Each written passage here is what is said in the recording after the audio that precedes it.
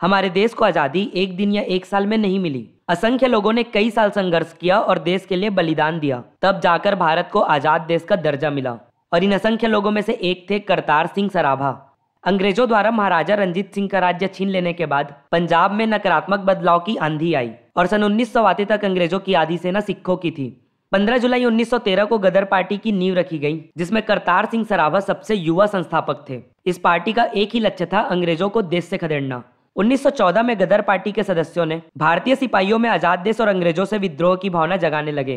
Kartar Singh Sarabha 100 kilometre cycle चलाकर सिख सिपाहियों के खेमे में पहुँचते और निडर होकर अपनी बात रखते थे। इसके बाद 1915 में अंग्रेज़ों ने गदर पार्टी के सदस्यों को देशद्रोह के आरोप में गिरफ़्तार करने लगी।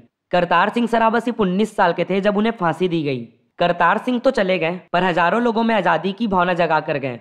जब भगत सिंह को गिरफ़्तार किया गया, तब उनकी जेब से करतार सिंह की तस्वीर मिली।